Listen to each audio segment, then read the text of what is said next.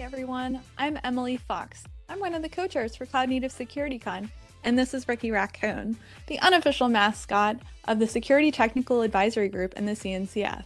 My fellow co-chairs and I are excited to bring you two days of talks on a variety of security topics. Join us to connect with other security experts, developers, and the security community to push cloud native security to the next level.